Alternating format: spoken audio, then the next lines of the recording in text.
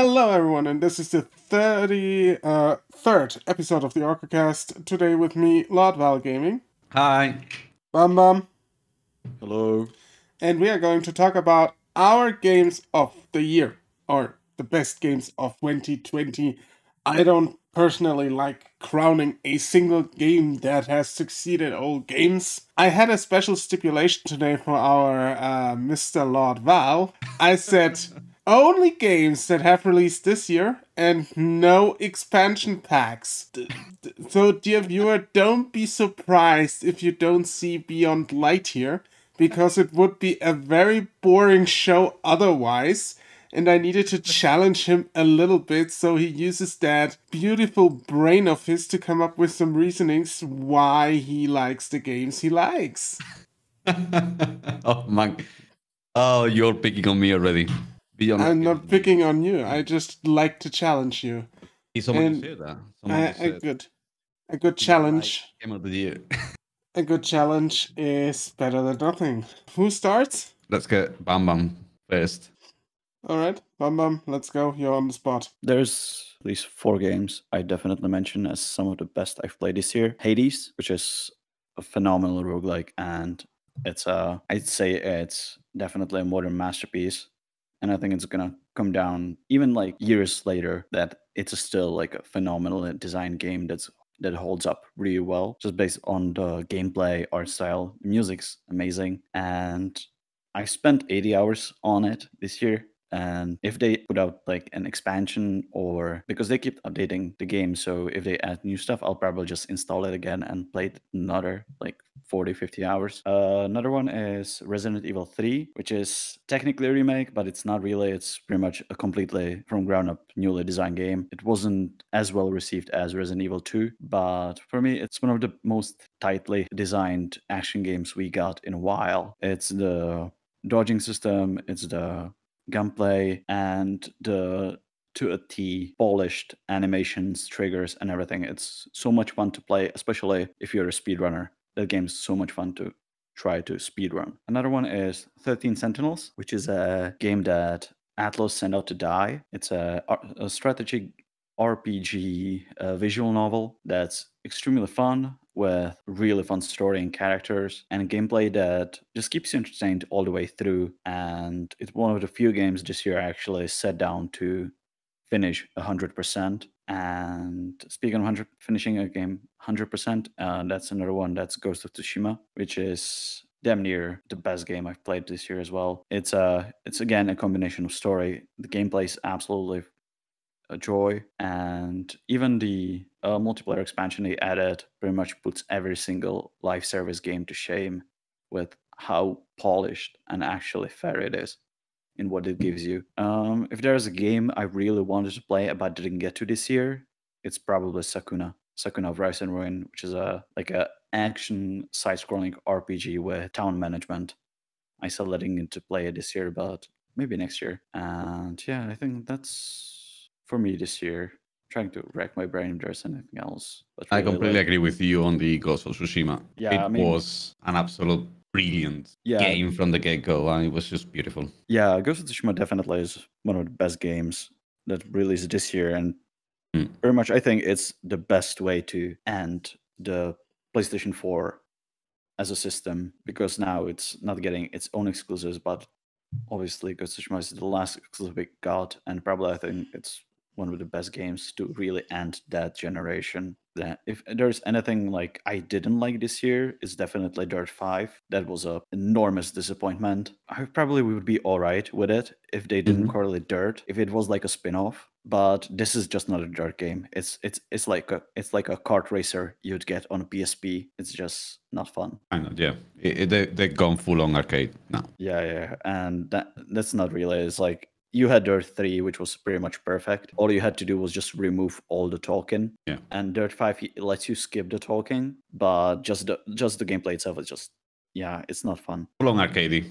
That's what yeah, I've yeah. seen so far. Pretty much. That's, that's the uh, I would say that's the route we actually spoke about on uh, which one was? The racing game. The other one that was Project Cars, the Project Cars 3. Yeah. Yeah, yeah. Uh, it was they went the route of full on arcade, and I think it was a big, big flop. Yeah, same yeah. thing. I. I think the same thing happened to the five, isn't it? Yeah, yeah. I think it's coming up. Like the critical reviews were sort of positive, but mm-hmm. ever, like when you check like the user reviews anywhere across the consoles and even like on PC, it's mediocre at best. Yeah, and I think since we're not talking expansions, I think that's me for this year. We're going next. Yeah. I thought it was gonna be uh, we were gonna save the best for the last. Okay, so the in, uh, for me uh, best games of the year. I'm gonna go in like in chronological order throughout the year. Um, one of the games uh, it's in my opinion one of the best of the year is Dragon Ball Z Kakarot. It was a really good. I grew up with Dragon Ball, so obviously, you know, I keep these kind of games like I love them because obviously it reminds me to my childhood. So I mean Dragon Ball and also you know the, the style of the game is kind of like an RPG game, so it's really cool and you go through the you know all the story from Dragon Ball Z, which is basically the best part of the story from the whole story on Dragon Ball. So in my opinion, that's uh, the first one. Second, we have Ori and the Will of the Wisps. Wisp? Did I say that right? Wisp? Ori. It's just it's Ori. Uh, there is nothing else I have to say about that. It's a platformer which looks absolutely stunning. It plays well. It just it looks good, and it just takes full on advantage of the the One X, not the Series X. It will take advantage of the Series X now. I think it's it's being upgraded to the Series X already. Or if it is if it isn't, it's going to be 240 FPS, I believe, something crazy. That's the second one for me. Then another. It, this is probably not the best game of the year for me, but it's it's gonna have a honorable mention, which is Doom Eternal. It's a beautiful game. You know, it's Doom. Uh, brings you back memories from the old Doom. It's actually really cool. The music is fine. The you know the the, the gameplay is really cool as well. So ripping eyeballs off and stuff like that. That's I just like it. It's just Doom. It's more Doom. So and it's Doom done well. So it might not be a candidate for me for Game of the Year, but it's it's got to be up there with at least an honorable mention because it's a brilliant game. I wanna I wanna mention another game which is actually just one Game of the Year, which is The Last of Us Part Two, I believe. Is that correct? So that is a no-no. I don't think Last of Us 2 is a game no nowhere near close game of the year. Maybe an unpopular opinion, but I just wanted to say it. I needed to. Well, let me let me hook in here. this is the first time we all three in this room completely are in agreement. There you go. Yes, I made it. I made it. I'm out. See you this later. Is the absolute first. I'm out. See ya. All in agreement. It's a Christmas miracle. I'm done. I'm done. It's, a, it's Christmas it's miracle. freaking Christmas miracle of 34th Street. All right. So moving on to the next one is gonna be Ghost of Tsushima. I think this is just the pinnacle of gaming, in my opinion, this year. And probably I, I would dare to say in the last decade, after Destiny, obviously. so I, I, I just Ghost of Tsushima, in my opinion, it's just beautiful. The setting, the gameplay, came out perfect, almost perfect. It's got support. It was kind of quiet, you know. It, it was. It's nice to see a game that kind of goes quietly and then drops and it's good. It's just almost perfect just from the get go. And that's not something you see very often on gaming lately. The thing was, I think it's because it comes from another old school developer, which is Insomniac, and they have like playing Ghost of Tsushima felt like going back a generation in a way that it had that old school polish yeah. where it came out and it just worked. I would say like obviously uh, joking aside uh, destiny had issues and stuff like that. Obviously is i love destiny but in my opinion on this decade it's been ghost of tsushima and uh, monster hunter world two games that came out and almost quietly and they were perfect from the get-go. And it, it's just nice to see you know these kind of games doing you know i give them a lot of praise because you know that's something it's not happening. Guys we get how many games we get every year? Maybe 1000 games 2000 games and maybe one or two come out almost perfect on day one which is an achievement nowadays. And moving on i'm going to have another mention which is going to be grounded. It's not fully out yet but it's, it's still on like alpha version i believe or, or beta on xbox game pass Early access. So early access, yeah, it's kind of like an alpha, shall we call it, like beta maybe? It's more of an alpha. I think. More of an alpha, yeah.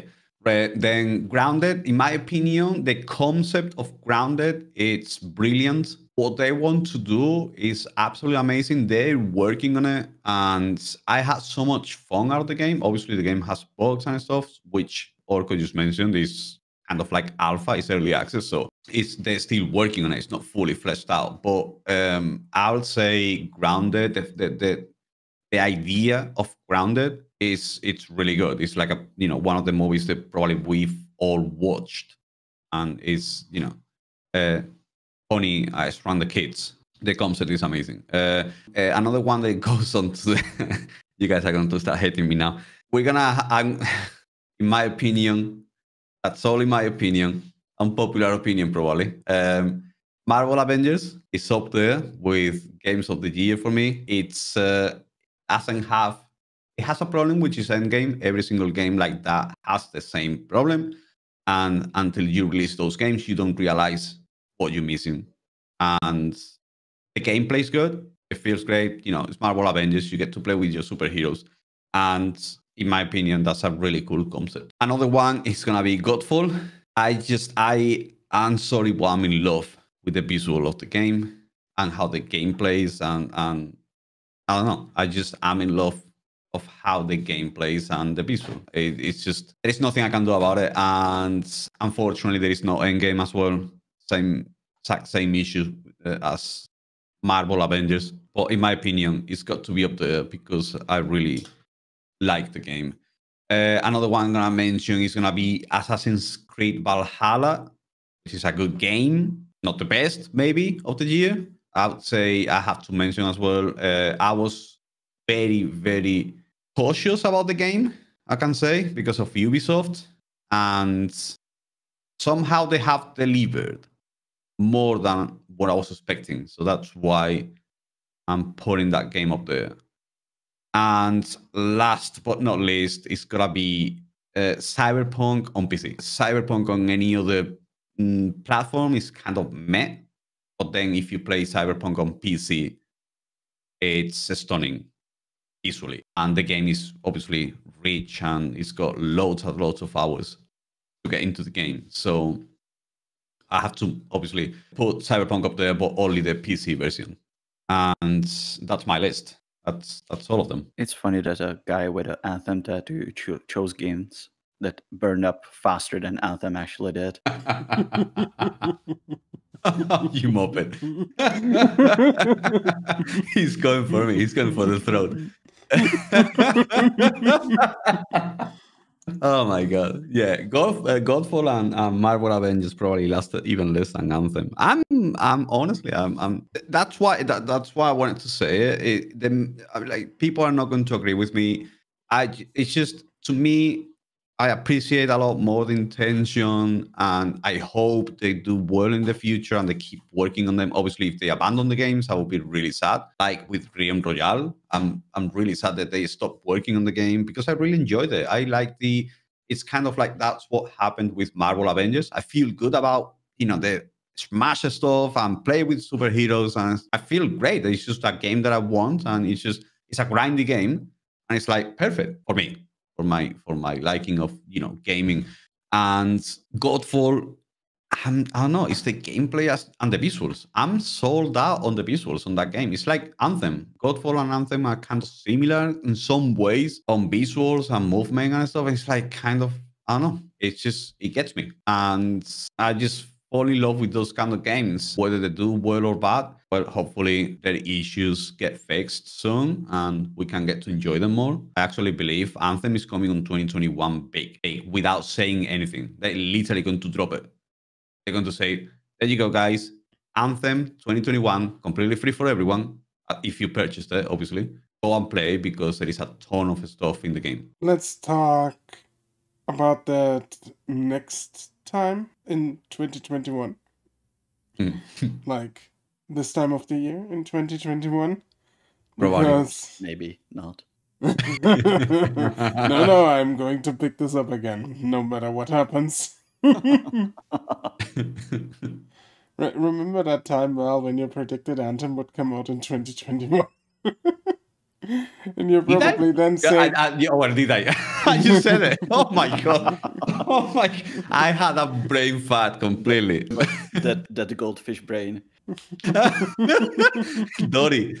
You can call me Dory. I, I actually think they are really close of finishing. I think they, uh, in my opinion, I think they're gonna finish it without release it without telling anyone because of the mistake they did before. I believe. I believe they have been working on it for like a year already, isn't it? I would say they're close to releasing something kind of like. Obviously, the base game is already there, so they have to basically Rework end game. Yeah, but I mean, the game is made, so that's they don't have to rework the game. The movement of the characters were perfect, but Yeah, yeah, but yeah, it's, it yeah, we'll needed some about it later. polishing. That's Yeah. another point, but I think there's yeah, there's way more they have to redo than just than that. It will. I think it will. the I think even the engine they used were was completely unsuited for what they were going for. Yeah, was it Frostbite? It was the Frostbite engine because Yeah. EA forced BioWare to use the Frostbite engine, which is not coded for RPGs and stuff like that. And I think it's just hard to work with that engine. When these Star Citizen guys decided to use CryEngine instead of a more modular one. Let's not talk about that.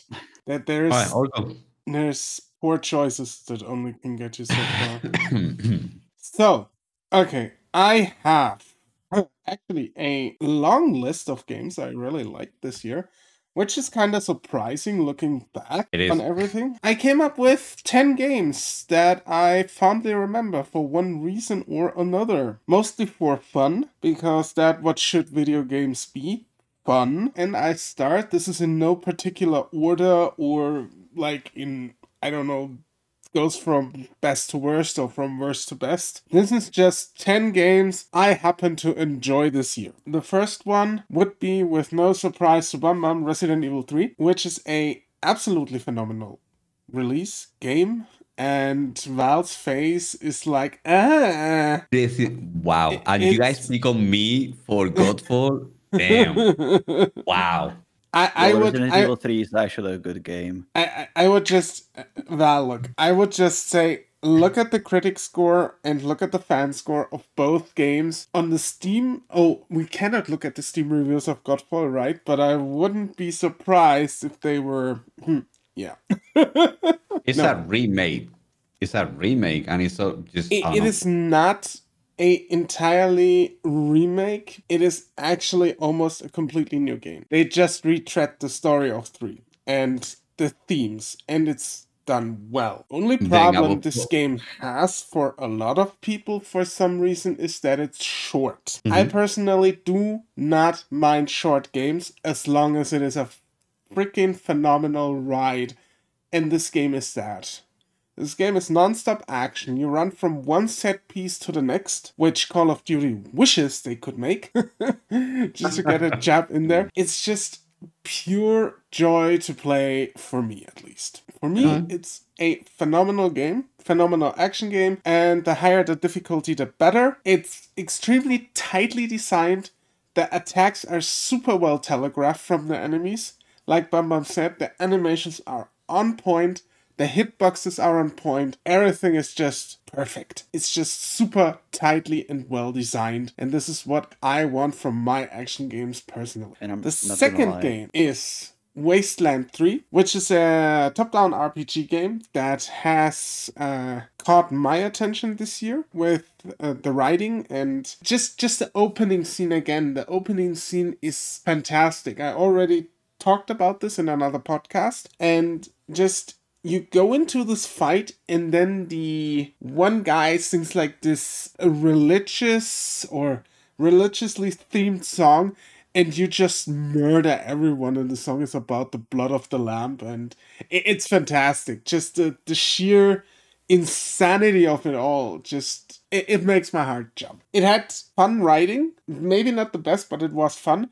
It had very engaging gameplay uh, much more so than I have to admit so far Baldur's Gate 3, which is still in early access and why it isn't on the list. It is just, for me personally, if you just come comes to pure CRPG games, it's probably the best one released this year. I haven't played some of them that are very well received. This one personally probably takes the crown. The third one I have is Mortal Shell, which took the Dark Souls formula and made it its own. It added to the formula very well. It didn't just retread it, it just took it, made it its own, and added new layers on it, which were very reasonable, very well designed, and had a lot of nuance to them.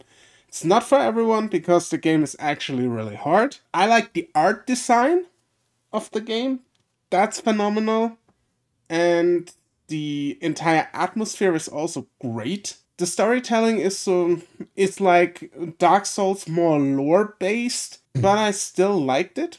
it, it it's a lot of fun. Um and the next game I have on my list is Iron Harvest, which is a strategy game, actually, a real time strategy game. It's basically Company of Heroes in steampunk Eastern Europe. It's great. It's not quite there yet, so maybe take this with a grain of salt. Overall, the effort is very admirable and they've done a really good job at the game. I would just say it's one of the best RTS released this year. I mean, I don't know if there even any other RTS have been released this year, but that's a great one. Next up is one where I'm a little bit surprised Bam Bam didn't mention it.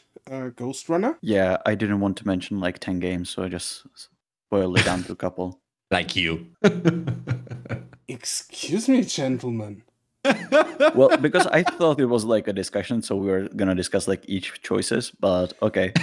Yeah, we can discuss later. I mean, I'm loving this. I'm a has for everyone we, today. we, we have like we have no clue what we are doing here, ladies and gentlemen. As Okay. usual. yeah. Okay. Then I'm going through it a little bit faster. So Ghost Runner was a very high intense action game, which I really liked. It's basically a combination of Mirror's Edge and Hotline Miami. And this comparison doesn't do it any justice whatsoever, but it's the easiest to make. Next up we have Paradise Killer. Which is a great game, a great adventure game, very compelling story, a lot of fun for me at least. And I've played it actually almost to finish. I haven't seen the ending, but almost everything about it I personally liked. We have Immortals Phoenix Rising, uh, which is basically Zelda with Assassin's Creed. It's just a good time. It's nothing new. It's very transparent what they are doing. Is it bad? No. I liked it. And the next one is Murder House. That is one horror game done right, um, especially when it comes to the soundscape and the cheesy atmosphere of the 80s horror. Like the uh, TV producer that looks like a porn producer in the end. It's fantastic. And then I have one last game. I will scrap the last one as it already was mentioned by Bum Bum. Death End Request 2, which I would not recommend anyone playing it because the reasons why I liked it so much is because it was so terrible. It's a game that is so bad it's good. Alright, let's discuss the choices, gentlemen. Let's start Well. with Bum Bum. Resident Evil 3. Val looked like he had a lot of lot to say Um, about that. It's it's a remaster. If I mean, if that works, I'll put Beyond Light in there, bro. It's not Well, a this is- remaster, this it's is a actually remake. more original than A Beyond Light, remake, man. honestly. Beyond Light is a brand new game, so I'm just gonna say. It's not. Nah, I just, I'm, I'm, I'm, I'm just, I just didn't like it. That's all. I mean, you don't It's like horror like, games at all. No, it's it's Resident Evil doing Resident Evil, which they've been doing it for like how long now? Fifteen years, and it's more Well, the same. It's well, literally more. of You the haven't really just- played any of them then. I'm just gonna say Mm. that now.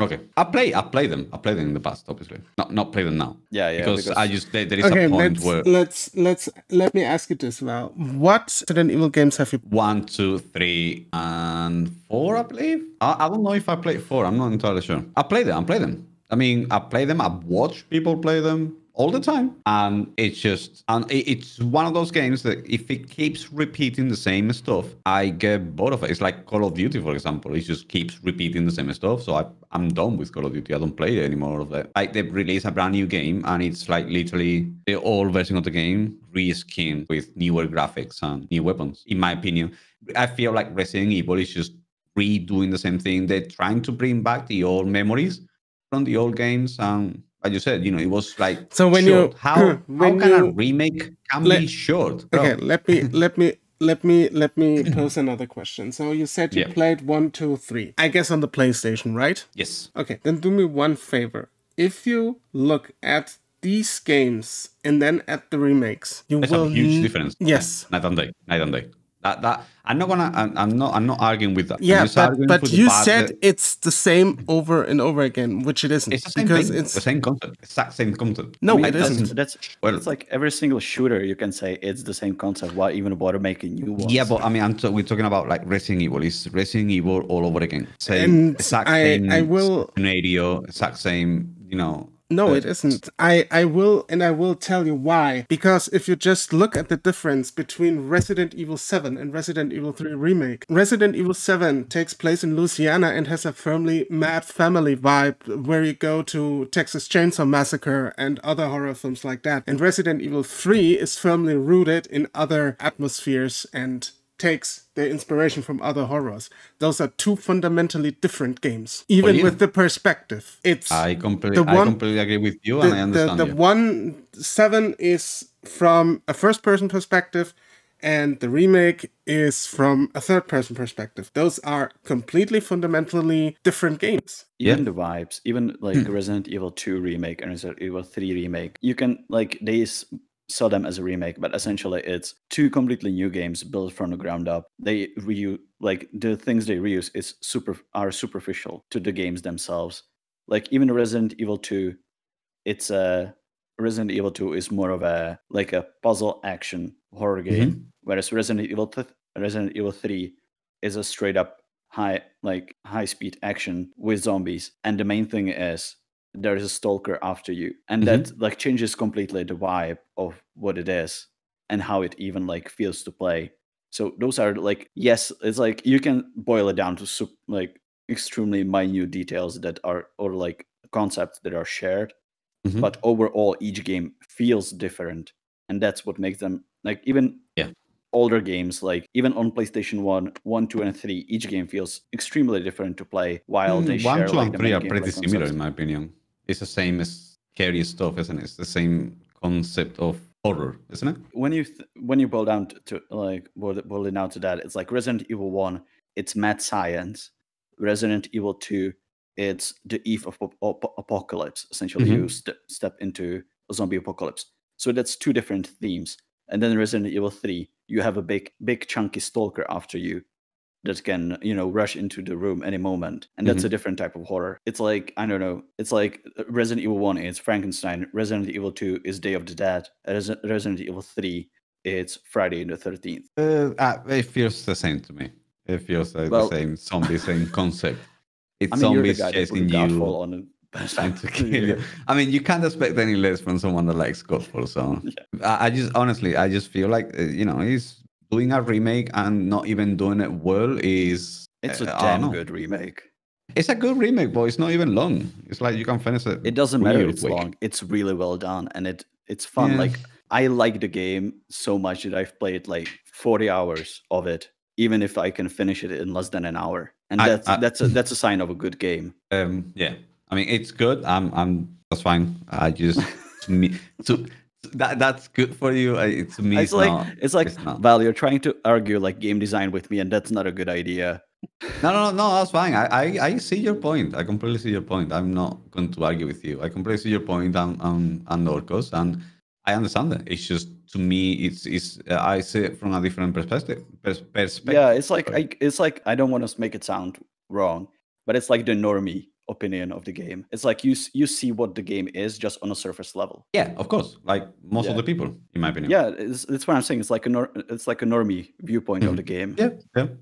I, I can I can I got knowledge obviously because I've been playing my entire life. Obviously, Yeah. I got knowledge of a million different games, but on a surface level, on ninety nine percent of them. And I like reading about them, and I like looking at them, Yeah, and I like everything, but I don't go deep into details on the games. I don't even probably go deep much onto Destiny, if I'm honest with you. I know stuff. I don't know the, the exact percentages and um, if you have this buff and exact damage numbers of this thing or anything like that. You know, I got knowledge. no yeah yeah I don't I go mean, deep into other things. Um, but yeah, I mean, honestly, it- like not that's not exactly going- what it is. It's exactly what it is. What you said. yeah no i mean like not going too deep actually makes it easier to enjoy games to be honest I and i wish Yeah. i could do that but i'm just Mm. like asinine like that I just focus on other things. But yeah, it's actually Yeah, yeah. that, that's exactly what you said. I do enjoy games, because I kind of like go over them and don't try to see the tiny little details and just have fun with them. Yeah. If they're attracted to my eye and play well, that's it. I'm sold. Let let's let's have some fun here. Yeah.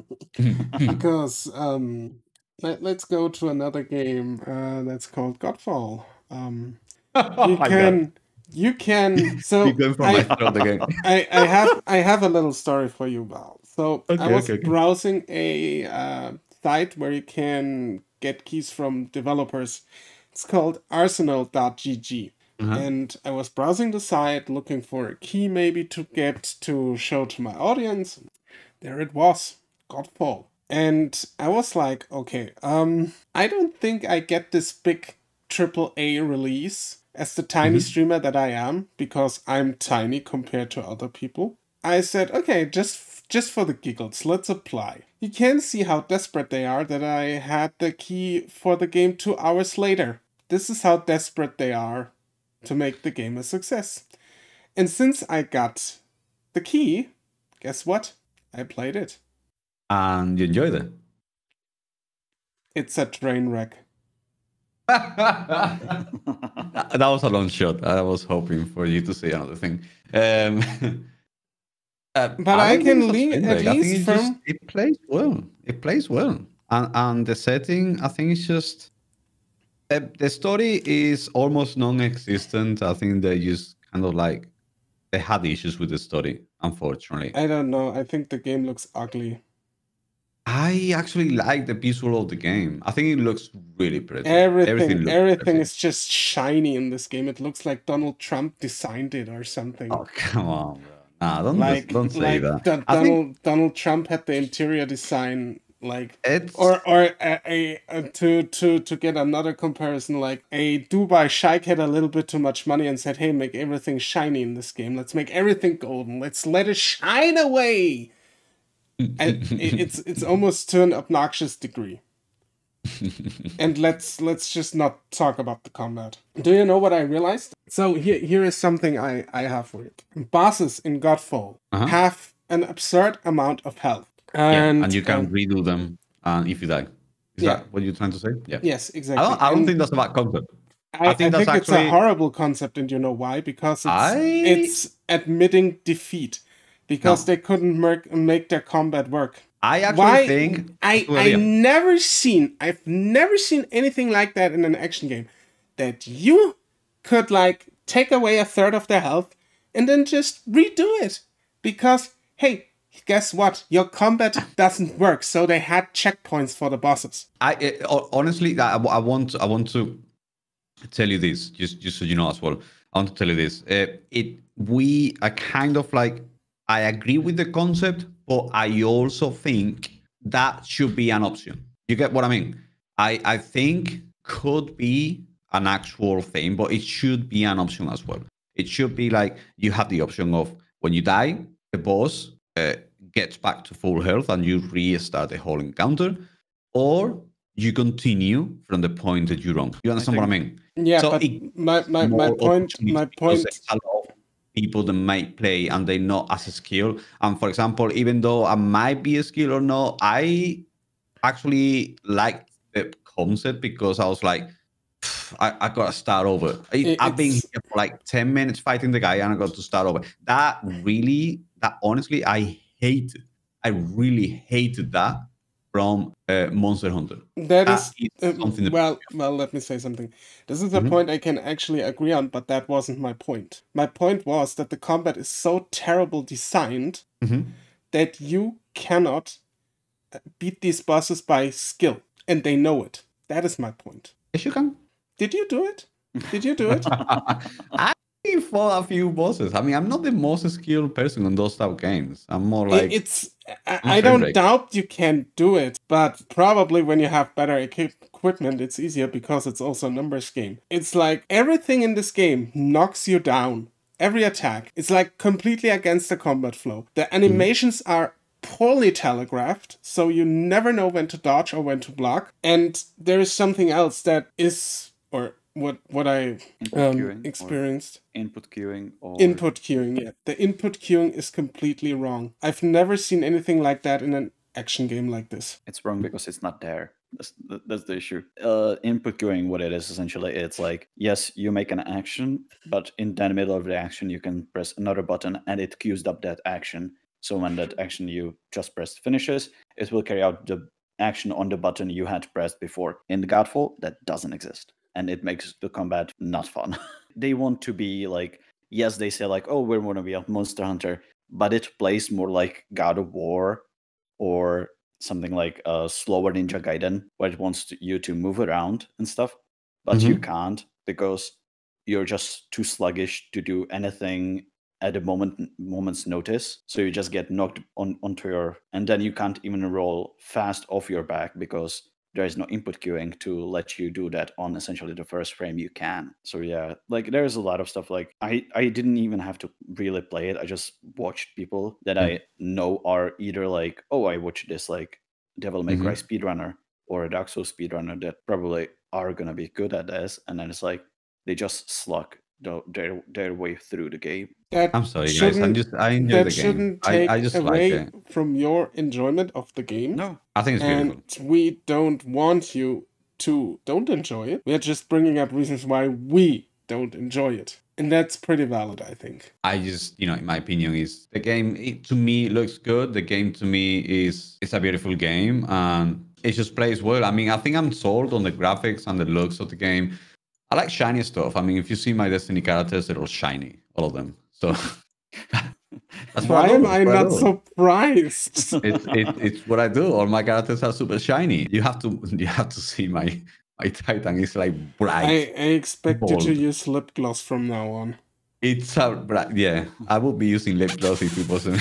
I, I, I, I because imagine- people it's just the, the graphics i'm sold on. I feel like those games i don't know i, I kind of like because i play so much of like games like destiny which is a first person shooter and i don't come from that background. I come from sports games and then having to switch onto a third person which never i never liked before and then i started kind of like liking it with maybe remnant from the ashes and then Monster Hunter World, and I started feeling good about those games because kind of like Monster Hunter World kind of like feels clunky. It's the style of Monster Hunter, which I completely understand, but it feels clunky. And then Anthem came out, and it was to me was perfect. I loved it. I loved it. I loved the concept. I loved the you know shooting aliens and and moving around and third person and you know it was a change from what i'm doing. That's why i play also the division. And then godfall came out and it got it's got the looks of destiny while you're attacking other people and it feels like the fighting of like marvel avengers as well. And it was like i really really really wanted that game to do well because i was like it looks beautiful. It's not done well but i mean i still think the game is is absolutely beautiful. And i'm hoping they they fix that. All they have done in, in my eyes all they have to fix is uh, you know end game and stuff. Obviously there's other issues which you guys are talking about which are complete i completely understand them and i know where you guys are coming from and everyone agrees with you which is you know obviously no- i'm not gonna say you cannot you know eh, eh, you guys are not right you guys are wrong but i'm not gonna say that at all. Obviously i completely understand it but i just kind of see the game and i i just like it. I look at the game and i like it. I like the looks. If i like the looks you kind of i mean you guys have to understand me if you like the the look of the game, you will probably tend to like the game. It will, you know, if it gets you through the eye, kind of, you're already going to be not not biased, but the first thing you see is what it's going to say yes or no. I mean, I like anime art style a lot. And if you get Yeah. something anime, you, you kind of if you see something a game that's And coming out there's a like anime, lot. There's a lot of uh, games with anime art style that I despise a lot. yeah, but at the first at the gl- first glimpse, catch it catches your eye, I'm isn't it? always, I'm always wary because looks can be very deceiving. and a whole lot of anime looking games are trash as Yeah. well, sadly. See, Yeah, but, uh, it- Request too.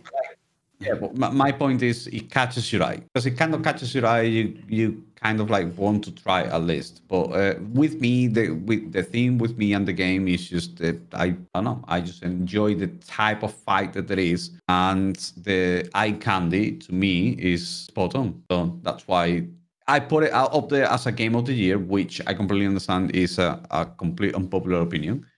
But to me, in my opinion, uh, it's gotta be up there. Shall we move on to Marvel Avengers, which is another brilliant game?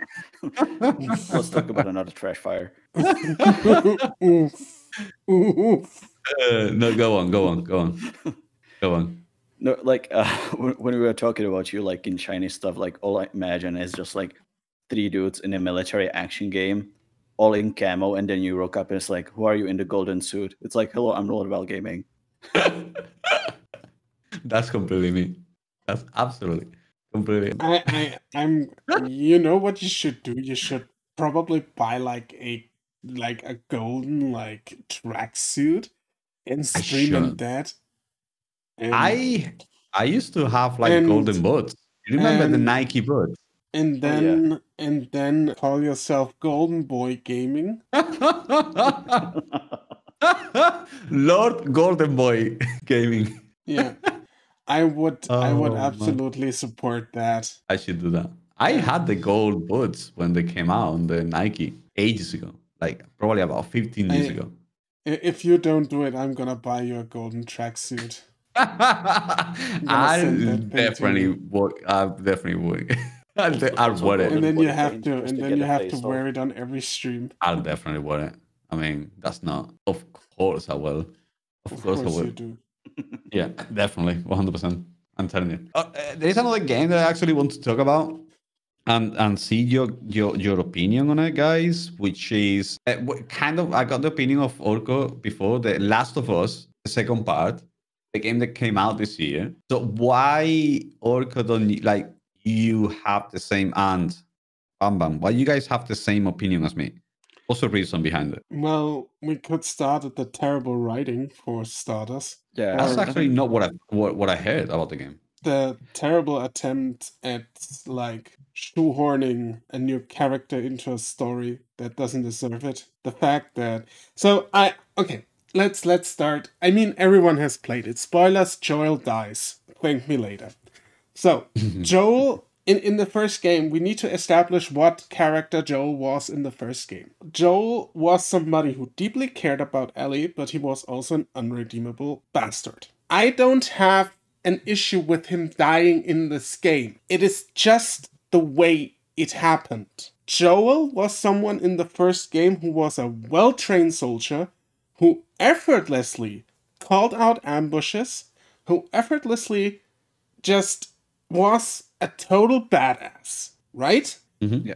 And somehow, between part one and two, he seemingly got dementia and went into a room with people who were obviously up to nothing good and just, just gets beaten to death. This is like one of the worst writing tropes you can choose. Absolutely terrible. And not to speak Yeah. of the gameplay, because that's like you play the same thing on repeat for 20 hours. Stuff like forced choices. When uh, Mr. Druckmann said you never have to kill a dog in this game, but you as Ellie are forced to kill a dog, and it turns out later it's the dog of Abby. You cannot, you, it's forced on you. And then the game tries to make you feel bad about it, what you did. The game doesn't even give you the choice. This is such a manipulative pile of garbage. Yeah, I mean, the problem was that even the writing in the first game was just barely passable. What elevates a lot of the story beats is the performances, like Troy Baker, Laura Bailey, Ashley Johnson. They're doing tremendous job. Like they're some of the best voice actors in the game, and like they make they they are the ones that essentially elevate the poor writing more so in the second game like the first game is all right.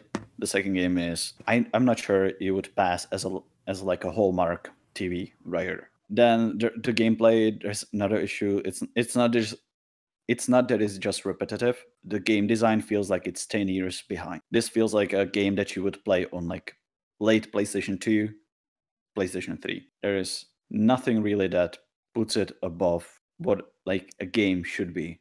Or like it doesn't try anything new and as you said like the, the forced moral choices which are not moral choices you like you're supposed to feel bad.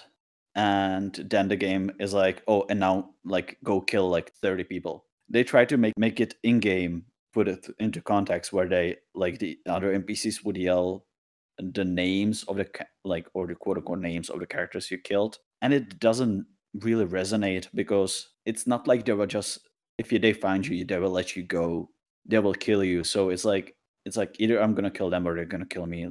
There's like there's no other. You're not giving me any other choice, so why should I feel bad about it? And yeah, and and I think just the uh, debacle with the DMCA's before the game was even released that didn't help either. And then critics and the developer themselves dismissing the opinions from the community that just like was the cherry on top even if you didn't care about that the game itself is average with some really good voice acting Basically, that's it. It's overblown, it's overhyped, and I know that Last of Us 2 sold way below expectations. There is evidence or circumstantial evidence for that because if you look at the stores in my city that thinks it's firmly on the shelves like stones or something and this is also why sony in quotations and neil druckmann wanted this thing to be game of the year from the game awards I don't think it was a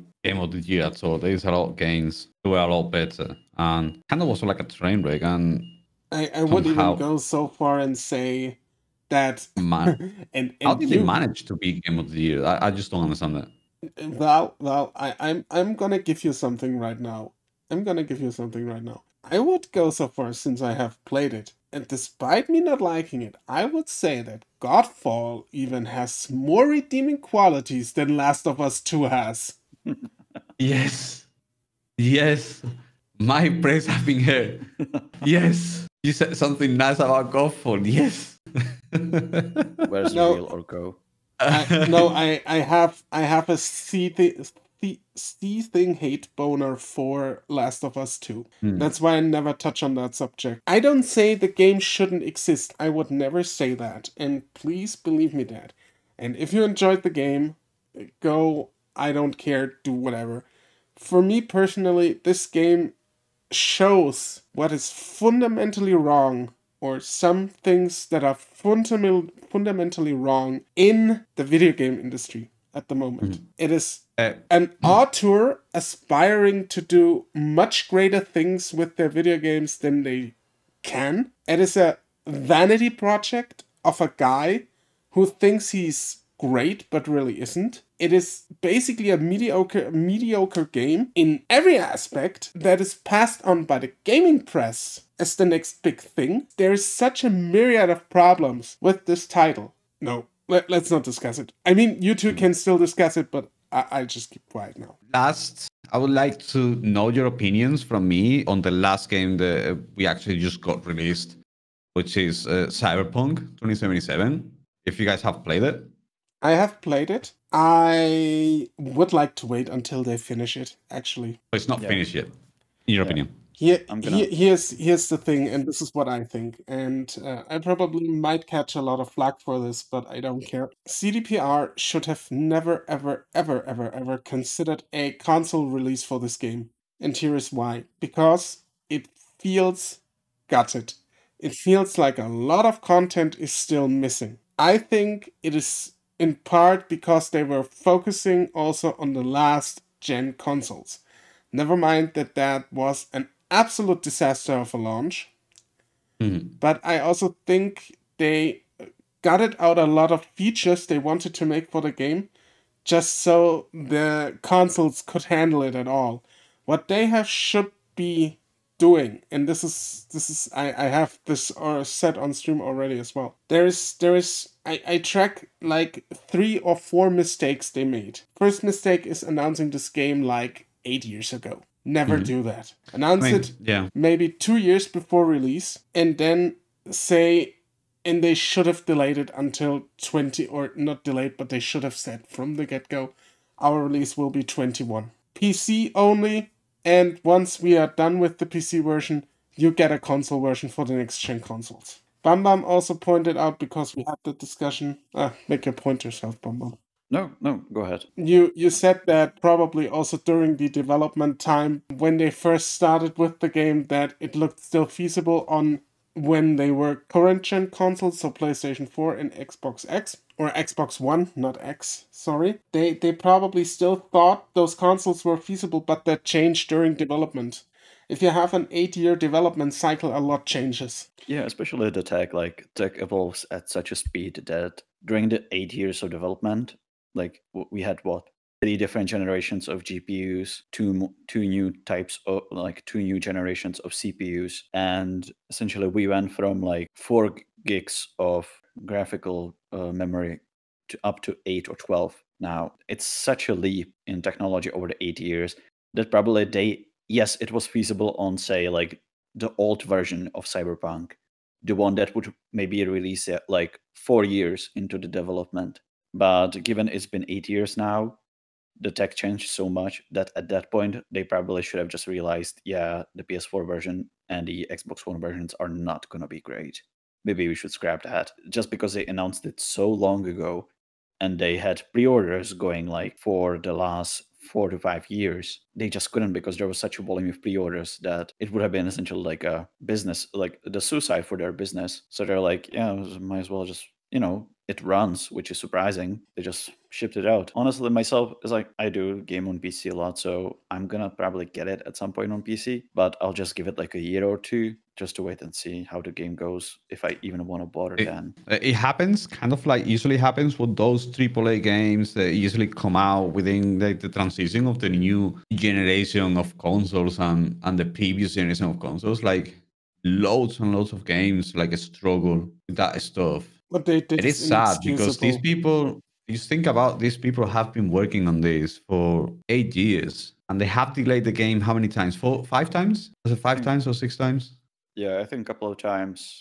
I think they delayed it once at least last year, and then this year it was like twice. it created expectation. Uh, they had the issue with the new generation and the old generation of consoles, and then the Yeah. game plays well on on PC. I think it's just it's an excellent. Like, that's why I said you know it's a the PC version only.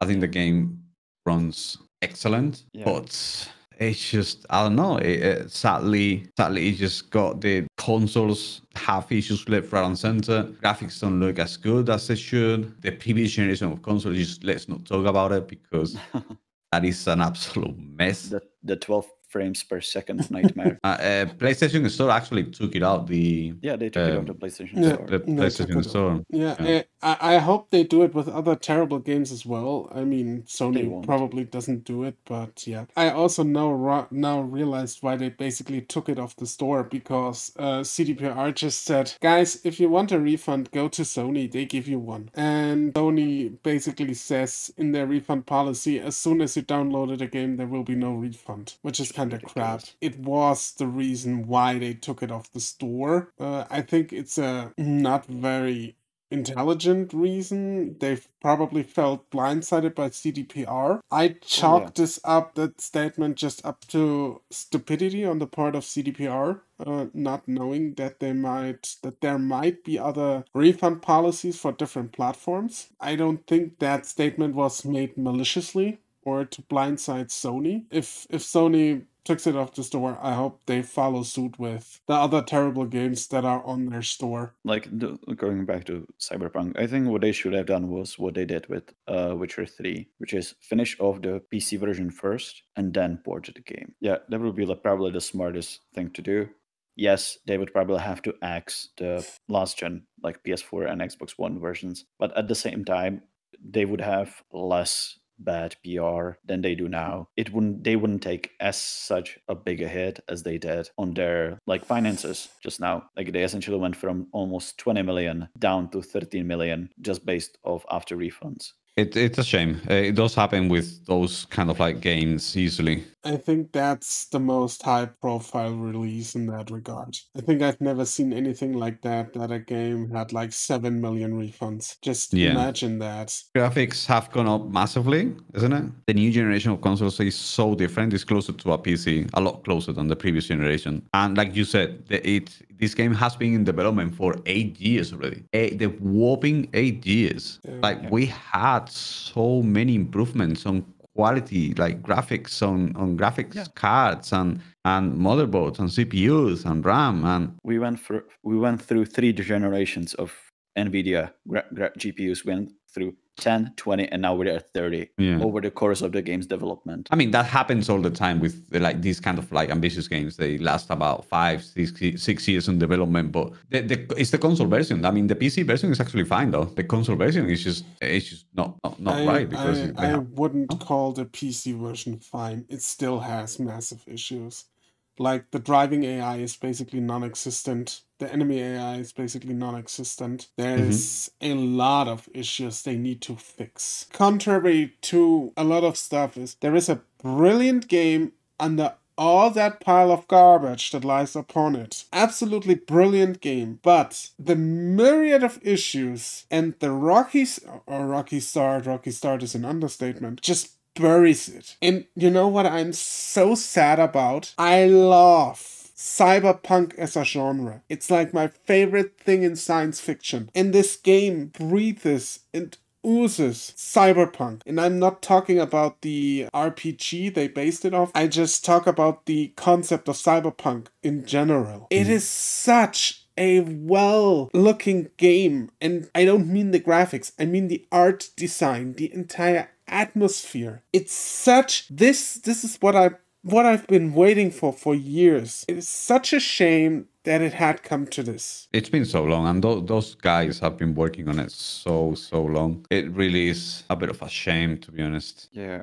i think i think with cyberpunk they probably chewed off more than, than they could handle I, I, I, I honestly think that the uh, what screwed them over was the they were trying to do the console version, Yeah, and the yeah, console yeah, version I like that's- that's fell behind, it. in my opinion.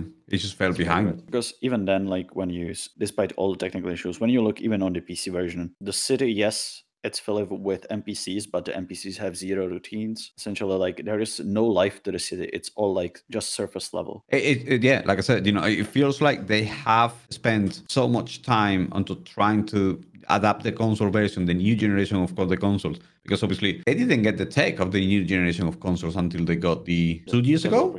You know what I mean? Like if you spend so much time, you know, if you're spending so much time onto onto doing that kind of stuff, you forget about what can you do on the other thing. The problem, uh, another problem that happens actually uh, is just something that just I've just read about this morning, which is funnily enough, we're gonna bring back Destiny onto the conversation. The thing is, you know, when uh, Destiny, Luke Smith, which is the game director of Destiny, uh, he said he- they were going to get rid of a lot of things. They were going to get rid of planets. They were going to get rid of strikes and, and raids and, and and maps because at one point this is he actually mentioned it at one point there is so many things going on that all you're doing all you're spending your time is is on fixing stuff. You're fixing and fixing and fixing and fixing and you don't use that time to develop something new. You understand what i mean? Exactly. And that, and i think that might be the reason they're having with that might be the reason with cyberpunk why they're having issues with they have spent so much time onto probably adapting the game to the previous generation of console adapting the game to the new generation of console. And then they don't they could have used that time to fully fleshed out the pc version and then start working on the console version. That is exactly like I said in the beginning. They should have never done a console version in the first place. First, Yeah. like like Bam Bam said, like they did with Witcher, finish the PC version first, then go for the consoles. Mm-hmm. Everything else, please do not do. Please Yeah. do not ever do again. CDPR. If you ever listen to this, do not do it again. especially because they're not yes they are like a big time developer but they're not the size of say like ubisoft ea Yeah. Activision they don't have that volume of manpower to do that kind of project and also port it at the same time They had a bit off more than they could chew. But Yeah. it's too late. Uh, The Yep. damage is done. We'll Yes, see ma'am. how it evolves over the next year. I would actually just because everything that happened around it and how it everything was i would say it's the best worst game released this year not the not the kind of it's so bad it's good kind of game like Death end re;Quest 2 just it's a game that has huge amount of potential, and that potential is just buried under a lot of stuff. Yeah, I think Cyberpunk's gonna be maybe good after a year or two of patches. Oh, this is the gaming. This is the gaming. Uh, And- this is this is the, the this is what we get on on gaming nowadays, isn't it? Unfortunately, I, I think a lot, a lot. I mean, the developers are to blame, or not the developers, but the company yeah. is to blame as well. But I also think a lot of blame lies with the gamers for getting hyped up for this or getting to this kind of hype level Cyberpunk was experiencing. I mean, the delay kind of like made it a lot bigger. Cyberpunk was up there, and then the delays, you know, gave him even more exposure, and then I- kind of. I mean, I think I, I wasn't really all that hyped for it, so my disappointment is actually not that big. I'm more disappointed in CDPR as a company because they always touted themselves as very consumer friendly and they also acted very consumer friendly. But this, what they did here, is everything but consumer friendly. Uh, I'm not so much disappointed in the game as in CDPR as a company. I mean, they, they were the ones when it's ready, it's out. It's out when it's ready. That's not even true anymore either, because Cyberpunk definitely wasn't ready for a release. But we'll see. We'll see how it goes. I will just wait until like June, July next year and then possibly play it. Yeah. And hopefully with a lot of patches. And hopefully then it runs well. And for everyone who bought it on last gen consoles, I'm really sorry for you. I really am. And I hope you get your refund and I hope you can buy a good game that runs on your console.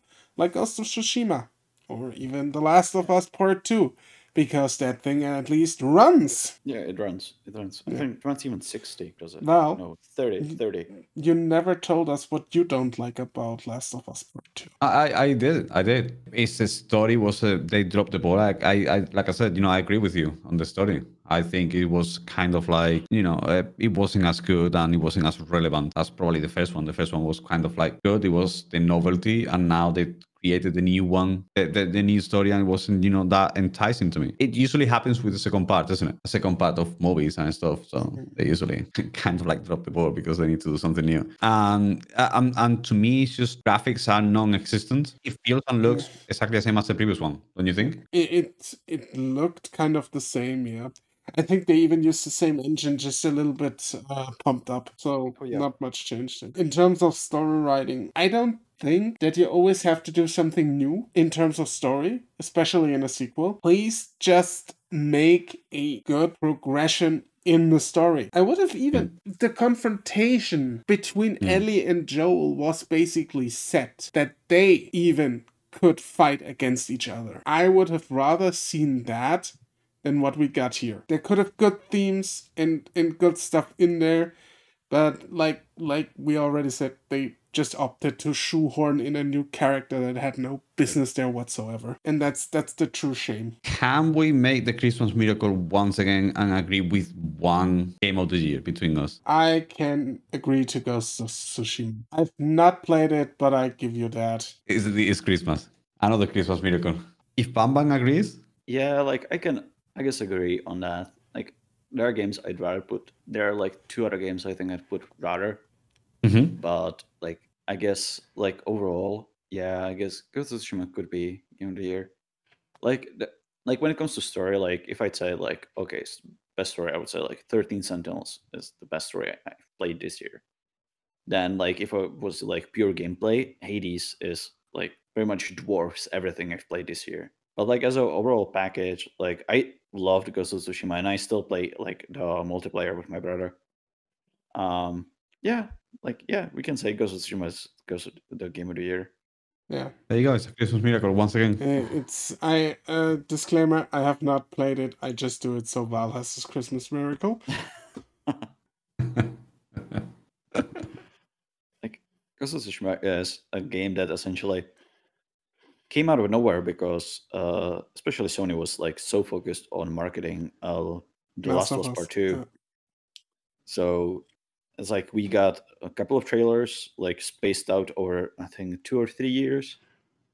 And then it just dropped without much much um uh, fanfare. And I was honestly because I liked I like as much as I liked Dragon, The Last of Us uh the first one. I was like, eh, maybe I could get The Last of Us Part Two, but then like the whole shebang with uh, the the MCAs and the story leagues happened. I was like, yeah, maybe not. And I was just like, on on a whim, I pre-ordered, or like two days before release, I ordered uh, Ghost of Tsushima and ended up absolutely adoring the game. It's a it's a game that pretty much like carried me through the summer. I think I 100%ed it, and I played it again just recently. So yeah, hmm it's definitely Um, among yeah. the best this year. no, I'm just looking at my list and I want to want to ask one last question and then wrap it up. What is the game that I mean Val and Bam Bam already said like Ghost of Tsushima came kind of out of nowhere for them, but what is actually the biggest surprise for you in gaming this year? Which game surprised you the most? It can be negative, it can be positive. Mm, positively, definitely 13 Sentinels because I didn't know anything before that. All I saw was the Vanillaware logo. I was like, yeah, might be good. And ended up absolutely loving it. And that game also like took over my life for about four weeks straight. Okay. Um, me, if you ask me, it's it's again Ghost of Tsushima. I just I don't know. I was su- pleasantly surprised with how good the game came out. Just that's the one thing I praise the most out of that game. Just how how good it is. Like it's just good. It's a good game, and it's just made from literally scratch, like literally, uh, and nothing. Everything worked fine. Mechanics worked fine. The story was fine. Uh, they worked on it. They released kind of like a quote unquote raid, raid kind of like activity. I I don't know which game I would give that honor to actually. What surprised me the most this year? I mean, I, I actually knew Puppet Combo before that, but I think I'm gonna give it to Murder House, just because of how excellent it turned it out. It turned out in the end. I mean, Mhm. we have such a big love letter to Clock Tower and Resident Evil, and it just works in everything it does. Yeah, I think the biggest surprise, yeah, like Murder House was a definitely a surprise as well because I've played a couple. I've played like uh, Silver Staircase, uh, Nine Nine Chainsaw Massacre, uh, the Babysitter, that Babysitter one as well. Just blanking out on the name. And like th- their games always used to be like super short, super simple. There's not much going on. And Murder House is probably the first one I've played from uh, Puppet Combo that felt like a like a full fledged a game that you, you would like get either like if you want to take it back as a PS1 or even now as a retro title. It's the first one that feels straight up like a full fledged game with everything that makes a game feel complete. It's not just a essentially a concept. I, I think a lot of uh, tinkering with their earlier games is just led led up to this game actually, and the soundtrack is just phenomenal. The soundtrack is absolutely whoa! It blew me away. I've You know what soundtrack is good? the soundtrack. The so here, here's the thing. Um, I'm a sucker for good horror soundtracks, and especially if a game uh, works with soundscapes to make a game really creepy, you know? Mhm. And I think Murder House excels at that. Murder House is just absolutely fantastic, and the soundtrack as well. And it is probably the one game I'd put up there with Alien Isolations in terms of sound design. The sound design is just amazingly good. It reminded me a bit of the the soundscape of uh, Silent Hill 2 and 3, where they do a lot with the background designs and blending in the music, and also how they use enemy sounds. So yeah, I think it feels it's a, it's just like a true love letter to the genre.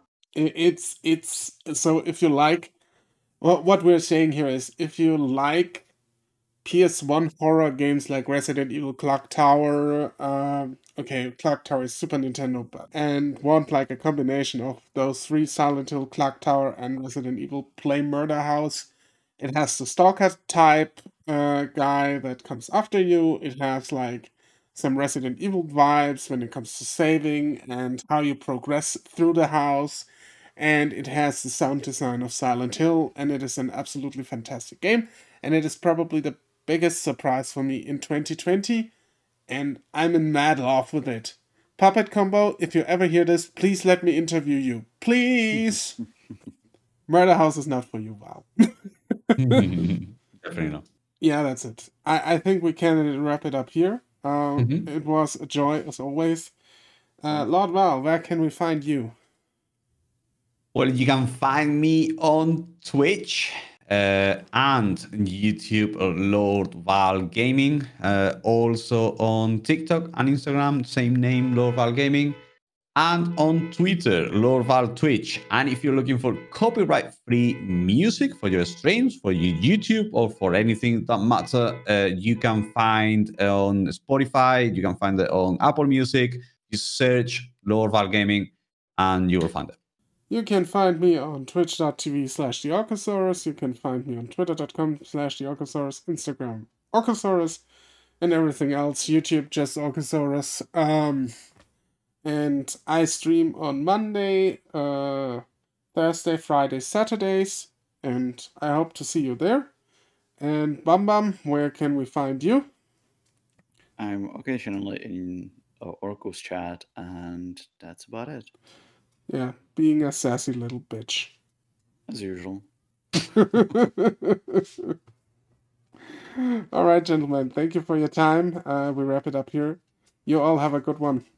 See you in the new year. Bye bye. Bye. Happy New Year, everyone. Happy New Year.